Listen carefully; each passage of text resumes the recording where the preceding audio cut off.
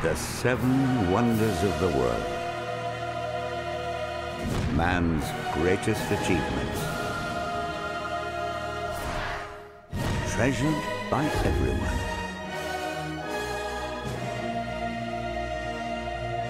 Or are they? If that was on my road, the council would be on it. They'd go, get that down. It's a death trap. Carl Pilkington. For people who don't know who Carl Pilkington is, how would you describe him? A little round-headed, bald, mank, missing link, chimp-like buffoon. Right. And you're a mate of his, aren't you? I- I'm a good friend. I'm not going on a camel again. I'm not going on a camel again. Why? I'm not going on a camel again. It is the funniest documentary I've ever seen. Let me go! Jesus Christ! An Idiot Abroad starts next Sunday at 9, brand new to Pick TV.